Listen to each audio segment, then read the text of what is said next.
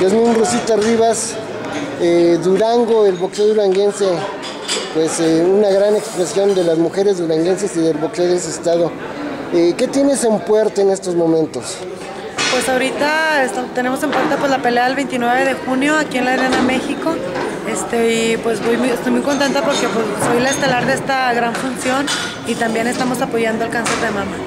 Oye, eh, la mejor boxeadora del año pasado para la Federación Internacional de Boxeo, ¿qué representa para ti este logro?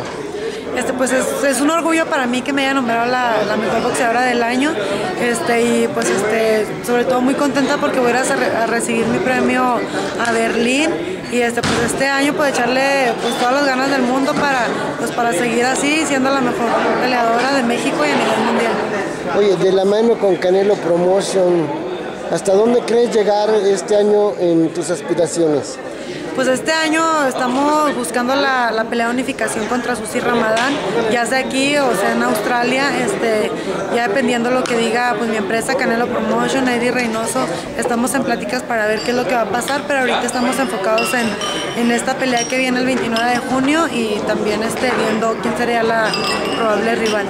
Oye, ¿la torbellina Irma García no se cruzaría en tu camino más adelante? Pues tal vez sí, porque estamos en el mismo peso, las dos, ella es campeona gallo, yo soy este también gallo de la FIR, y este pues yo creo que esa pelea se tiene que ver en algún momento ya que pues este, estamos en la misma categoría. Yasmín, muy amable, muchas gracias por tus palabras para Boxeo de Nocao de Informe. Gracias, un saludo a toda la gente de Boxeo Knockout.